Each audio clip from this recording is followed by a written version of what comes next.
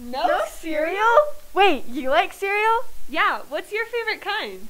I don't know. Let's go ask our students. Okay. What's your favorite cereal?